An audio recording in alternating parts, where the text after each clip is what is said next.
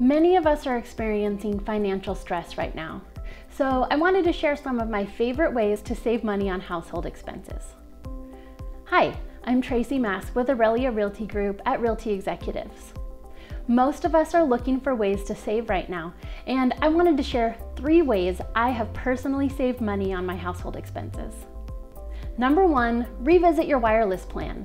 You can lower your data if you aren't actually using enough for that expensive unlimited data plan, or do what I did and switch from the big brand carriers to an independent carrier.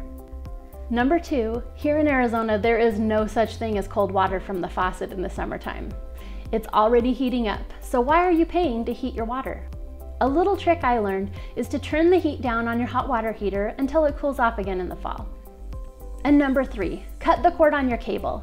I did this about a year ago. I have Netflix and an HD antenna, and I am perfectly happy saving over $100 a month.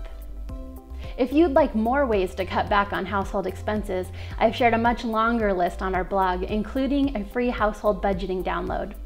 Just click on the link below. And if you're struggling to pay your bills right now, please message me and let me know.